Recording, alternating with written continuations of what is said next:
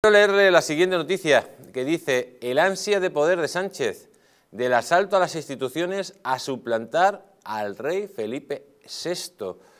Eh, hemos seguido haciendo ya un adelanto, pero el asalto a las instituciones está clarísimo. O sea, me decía don Roberto, le daba las gracias por su opinión, me decía, no, son datos objetivos. Es verdad que son datos objetivos, lo que decía don Roberto Centeno.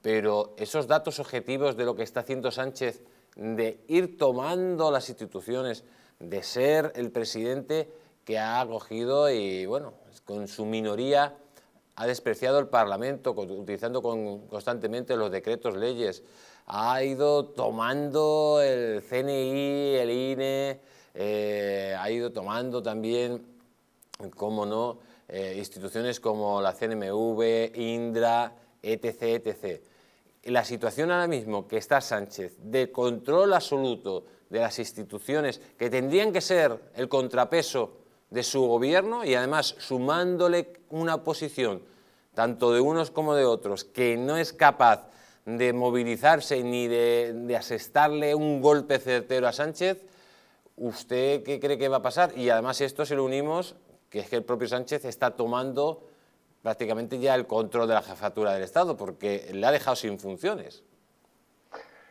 Bueno, eh, eh, todo, esto, todo esto forma parte de la personalidad vanidosa que tiene Sánchez, que se ha visto desde un principio. Todos nos acordamos de las, las famosas fotos del Falcon a principio de, entrar en la, de asumir la presidencia del gobierno. Recordamos las famosas fotografías de las manos de Sánchez, como que estaba haciendo algo, sus fotografías en desastres naturales, con, como rodeado de los miembros del ejército. Tiene una personalidad vanidosa y esa personalidad vanidosa y, y terriblemente enfermiza le lleva a pretender asumir eh, roles que él no tiene y se le ve desde un principio que sus ansias de poder no se quedan solo en la presidencia del gobierno, sino, sino también en desbancar al propio jefe del Estado al que lleva ninguneando desde el minuto cero. Y, eso lo sabemos todos. Cada vez le ha apartado más de, de, las pocas funciones que tiene para incluso intentar asumirlas él. Todos recordaremos la famosa escena del Palacio Real cuando se quedaba con, con Begoña Gómez y tal a saludar a la comitiva. Bueno, pues pues eso forma parte, eso, eso quizás sea su subconsciente que le llevó a cometer ese error, más que un error de protocolo.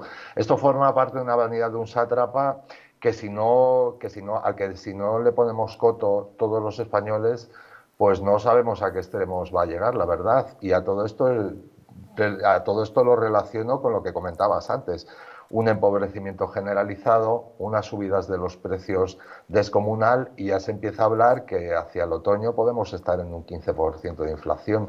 A ver quién es el guapo que asume en España un 15% de inflación con un salario, mira, no te, no te voy a decir medio, te voy a decir normal. Mm. O sea que...